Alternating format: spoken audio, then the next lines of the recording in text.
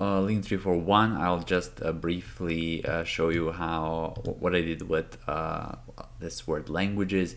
Uh, so with respect to the word languages, you here have, um, let's listen to it first. Okay, it should be good. Oops. Languages. Languages. Languages. Yeah, and this part here uh, should be voiced, right? Uh, because you understand that this is languages. It's a uh, plural of language with the morpheme is. So it should be voiced, but when we hear it,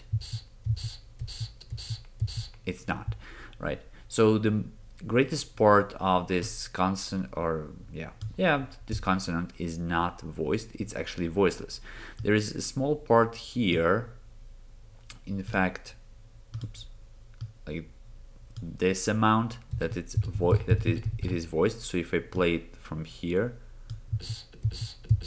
there is a little bit of voiced uh, a slight voiced portion of it. So around yeah too much. Yeah I'd say around what's that? Uh,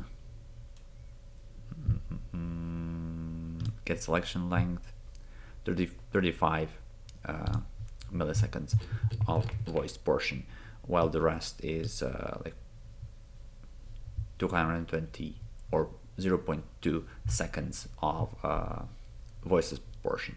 So yeah that's how you can see whether something is voiced or voiceless.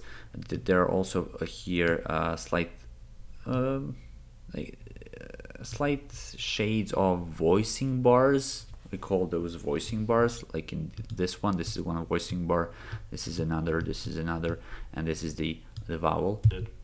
Uh, uh, this part of this portion of s or z uh, is slightly voiced because of these vo voicing bars as well. So you, this is a clue or a cue to voicing.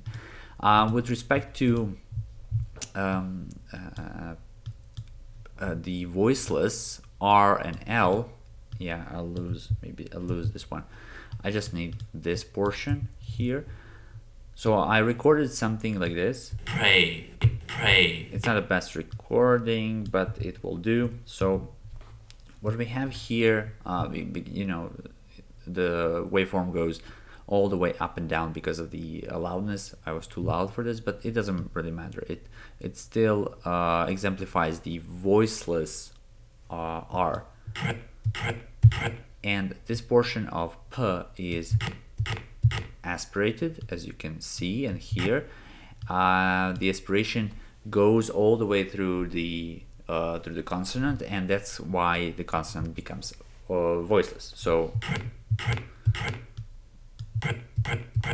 and there is a small portion of this consonant. Yeah too loud. That is a small portion of a consonant which is voiced. So it's not actually completely voiceless but still we can put this little diacritic like zero beneath it beneath the uh, the voice um, voiceless portion right? Um, that's one I recorded. The other one I also play. recorded. It's play instead of pray this time. So oops, uh, for this one I'll get I'll have p, p and the aspiration here that oops I'm showing one and the same thing. Here it is. So here it is. Still the same. And there is a laterality a little bit. So